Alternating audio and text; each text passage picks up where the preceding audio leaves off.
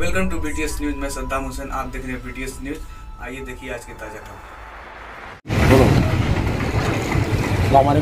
वरकatuh मैं area percent Kishan Nagar ward committee member यहाँ पे खुदा कॉलोनी में जो है सो ये कि कचरे की कुंडी के पास ये डब्बा ला के डाले। मैं बार बार असर यहाँ मतदारों के असर करने के बाद भी ईश्वर मैम साहब हैं। उन लोग यहाँ पे डब्बा बिठा के गए।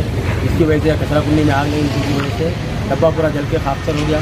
नया डब्बा है कि ये चालू भी नहीं हुआ, जल के खाकसर हो गया डब्बा है। अल्लाह उसमें गौरधन साहब को बोले बोलने के बाद में भी वो कुछ एक्शन नहीं लिया और डब्बा यूज़ में नहीं आया। डब्बे की ओपनिंग ही नहीं हुई वो। डाल के दो महीने के ऊपर हो हटाते हटाते बोल के आज तक नहीं हटाते हटाते बोले मगर आज तक नहीं हटाए उन्होंने। और हम बार बार उनसे जाके ये रिक्वेस्ट करें कि डब्बे को यूज़ में लाओ। वो ला के डस्टबिन के अंदर डाल दिए। पूरा कचरा आसपास में पूरा कचरा है। जिसका अंजाम आप देख लिए। पूरा जल के खाक खाक पूरा होगा। अब इसके ज़िम्मेदार जो भी है ऑफिसर आए इसके ज़िम्मेदार। अल्लाह।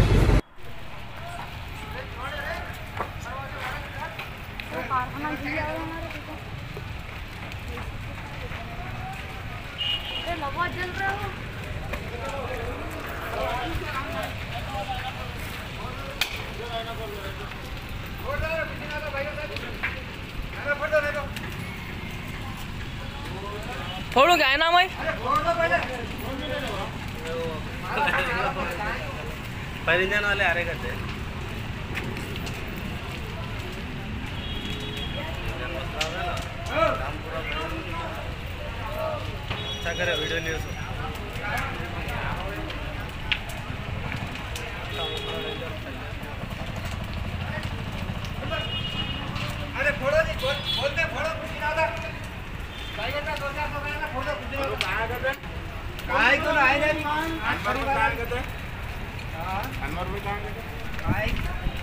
फ़ोन मिला चाबी अंदर लगती दूसरी लग गया ठीक मारो एक फाइट मारो डब्बा चल जाता हूँ जल जाता डब्बा और रीसन भी जाती रही तो आगे। जल्दी एक्शन लेना पड़ता कोई ना। कोई मोहम्मद को देना है देखिए क्या है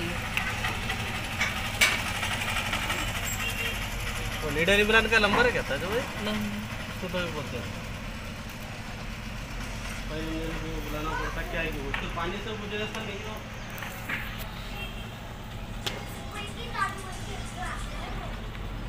ऊपर